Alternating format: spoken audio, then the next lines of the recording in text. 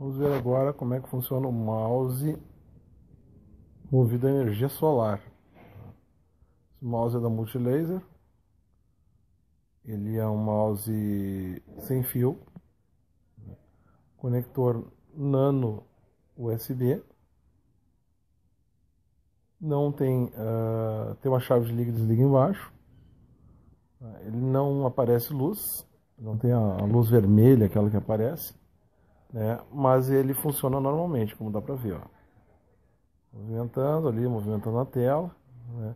Independente da mão estar tá em cima ou não dele, porque ele já ele tem uma bateria interna que vai carregando, né, de acordo com a luz do sol.